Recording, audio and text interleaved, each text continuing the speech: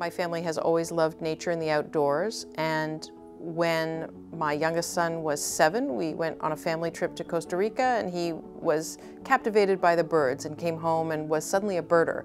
And we were going to Central Park to go birding and that's how I found this organization. I learned about spring migration and the carnival of color that comes through every year, but I also learned about the tremendous problems that are faced by those wonderful birds that are flying through the park. Well, watching Karen assume the presidency of this organization was, was really quite remarkable. She just, she took it to a whole nother level.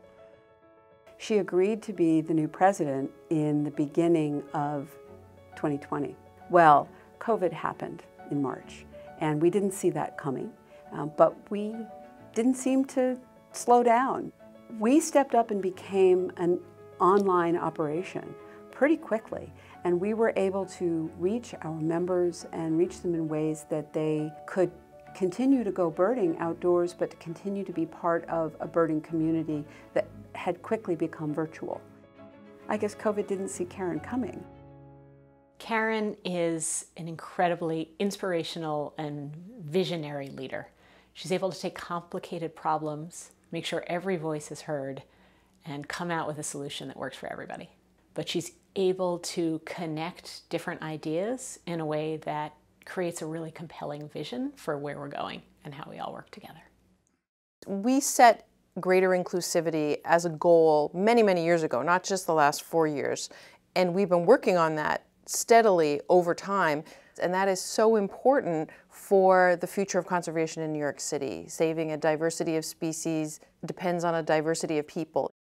I think the name change you know, was a huge part of pushing um, or, or foregrounding um, equity, diversity, inclusion, and accessibility. She made it very clear from the beginning that EDIA is part of the whole organization. Karen steered us through the name change for New York City Bird Alliance. She had the vision to think about our future.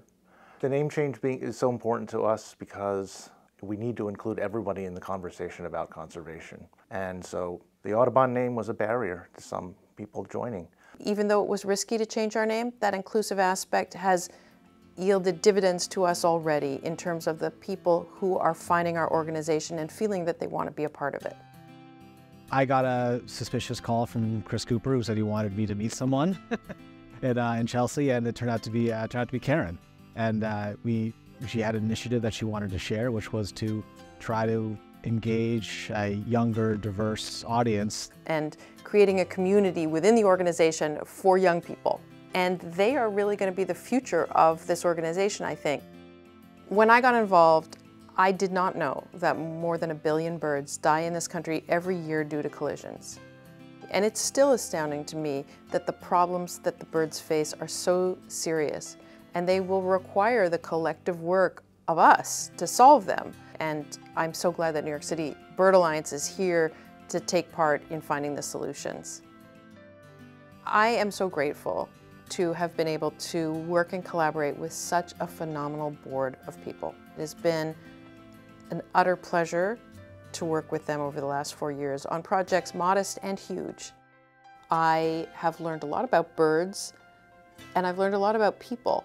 And for me, honestly, the people part of this role has been one of the most satisfying of my life. I uh, get as much of a thrill walking through the park and running into Chris or Elise or Wolfgang or David and Jackie or Mary Jane as I do seeing a scarlet tanager. The people who do this work and are involved in the work mean so much to me and it has been really the thrill of a lifetime.